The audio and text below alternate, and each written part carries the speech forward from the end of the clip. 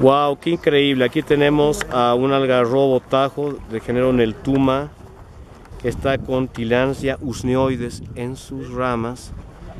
Pero es interesante todo lo que podemos ver aquí, molles, jarcas.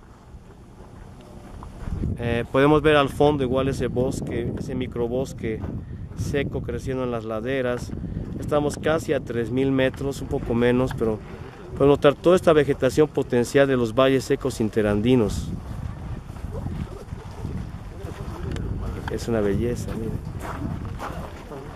Es casi un paisaje forestal, básicamente, ¿no? A una gran altitud. A una gran altitud, exactamente.